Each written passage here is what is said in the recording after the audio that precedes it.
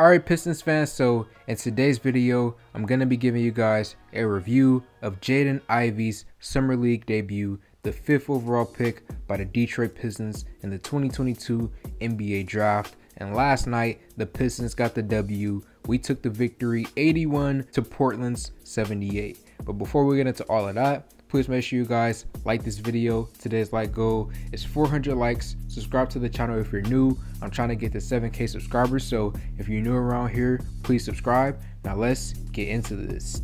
Now first, let's take a look at the stats from Ivey's performance. He dropped 20 points, had 6 assists, 6 rebounds. He was 6 for 6 from the free throw line, so 100% from there. And then from three point land, he was 40%, 2 for 5 from 3. And then lastly, he was a negative 2 in the plus minus category.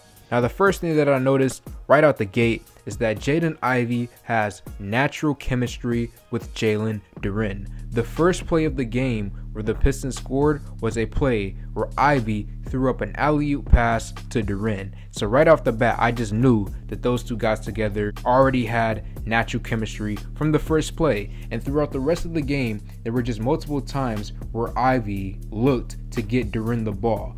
So that was the first thing that I noticed that I really did enjoy from him. The second thing that I noticed from Ivey in that game against Portland is just the way that he's able to, you know, get past his defenders by just using his burst and acceleration. I can easily see in a few years from now when Ivey continues to work in the gym, I could easily see him being one of the fastest players in the NBA one day. He is extremely quick and he uses that to his advantage when it comes to driving in the lane and running in transition.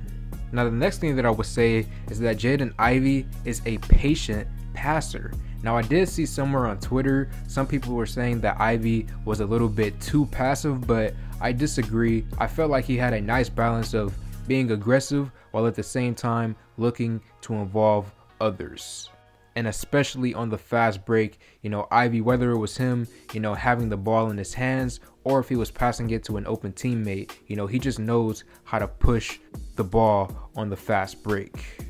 Now let's talk about a few of the negatives from Ivey's performance in his debut.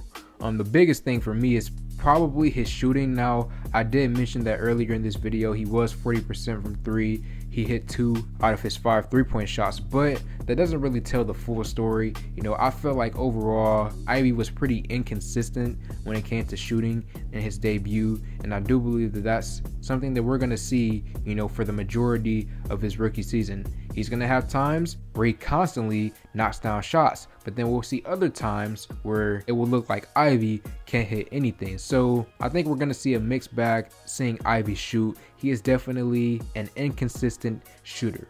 The next thing that I would say about Ivey's game is that he did play a little too fast at certain times. You know, it just felt like he was just running and running and you know didn't really slow down in a few plays kept on trying to drive to the lane and you know force things and it ties back into you know him forcing things is that he should have recognized what the Portland Trailblazers were doing to him. What Portland was doing is basically as soon as Ivey drove to the lane, they would collapse on him. They would send another defender out to double team Ivey. And what Ivey should have realized as a point guard is hey, every time I drive to the lane, I get double teamed. So he should have immediately thought in his mind to pass the ball.